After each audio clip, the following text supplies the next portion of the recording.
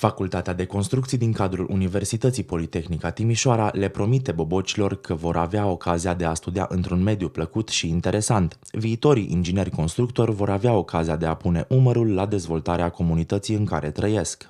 Bineînțeles că este un moment emoționant și orice început de an universitar pentru un tânăr boboc uh, trebuie să fie înconjurat de emoție și totodată de niște direcții principale. Pe studenții de la Facultatea de Construcție așteaptă patru ani în care trebuie să își dedice, să îi dedice studiului, pentru că acest domeniu, așa cum ați putut observa de-a lungul timpului, este un domeniu deosebit de important pentru dezvoltarea societății.